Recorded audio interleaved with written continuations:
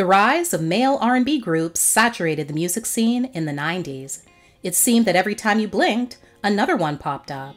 Jodeci, Boyz II Men, Blackstreet, Shai, and the list goes on.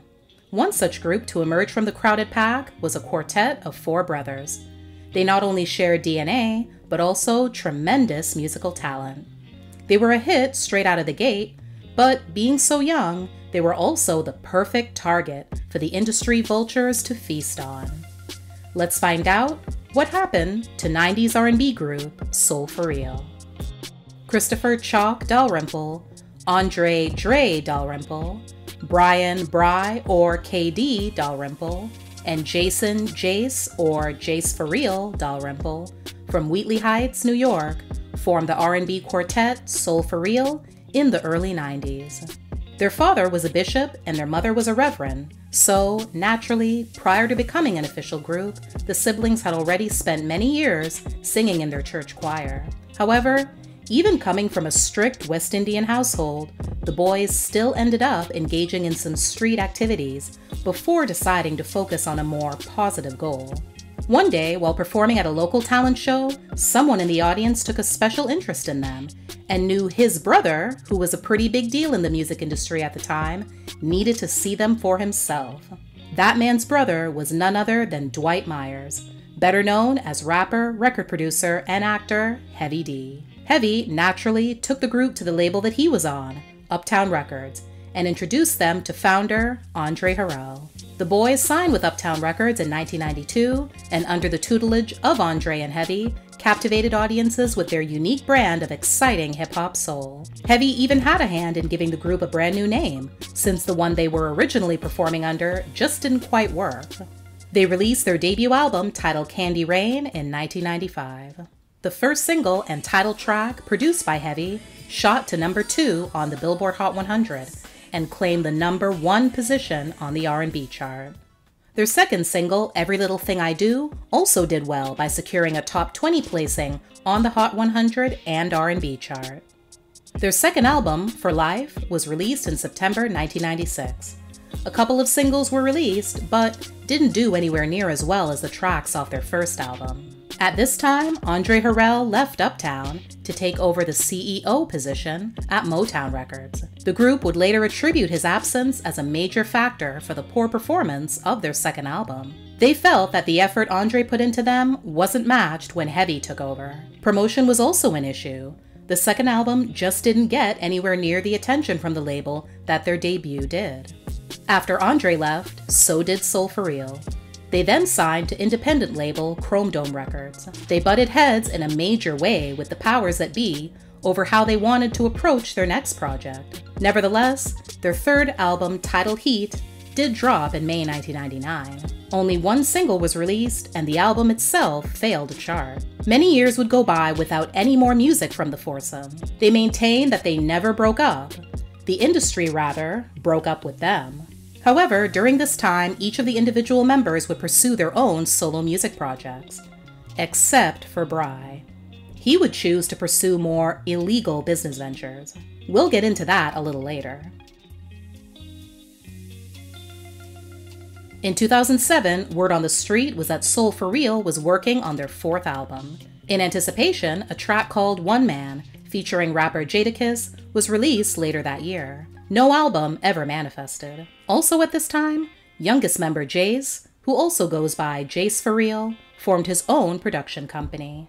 Sadly, the next time the brothers would make headlines would be for all the wrong reasons.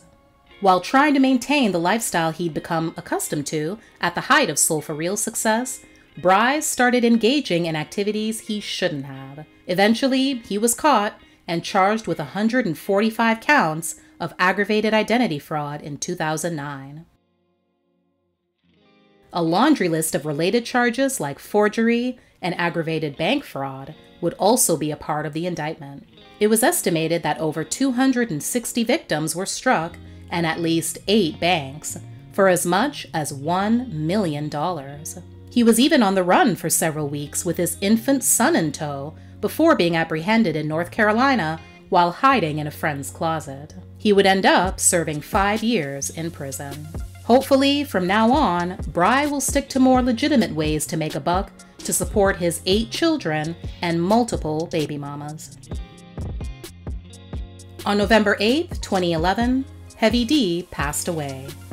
The members of Soul for Real revealed that they were devastated to learn that he was gone, especially since they had lost contact with him for many years and never imagined that they wouldn't get the opportunity to see or speak to him again. In the years to come, however, they would get the chance to express how they really felt about their experience under his guidance. By 2012, Soul for Real had relocated to Atlanta, Georgia, and announced, once again, that they were in the studio working on their fourth album. Also, again, in anticipation of the new project, they released a single called Can't Leave You Alone. Jace created his own record label, BEA Music Entertainment, in 2014, on which he would release his future projects and collaborate with other upcoming artists. Four years later, there was still no fourth album. However, the Band of Brothers did release a new single called Love Again. Bry delved into the restaurant business and opened up his own establishment located in Atlanta, featuring authentic Trinidadian cuisine in 2017. The brothers are actually first generation American, since both of their parents hail from the country.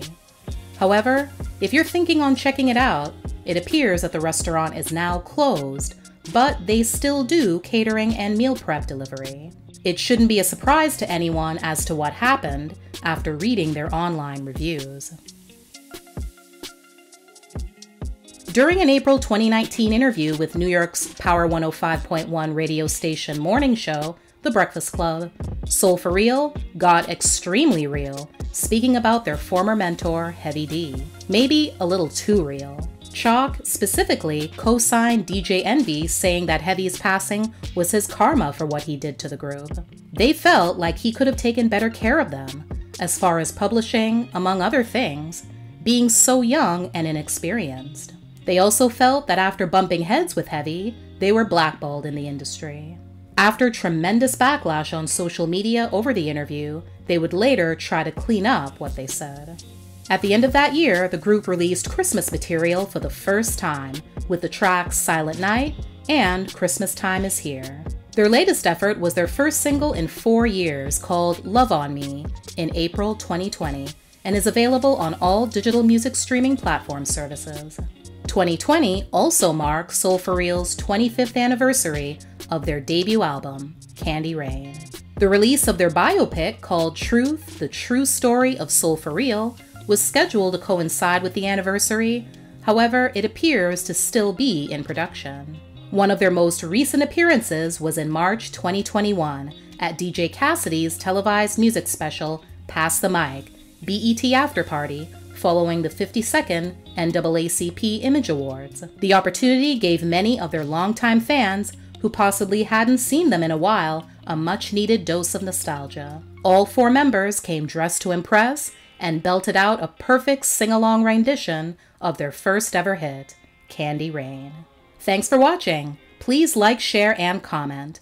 Also, don't forget to subscribe and turn on your notifications so you won't miss any future videos. See you next time!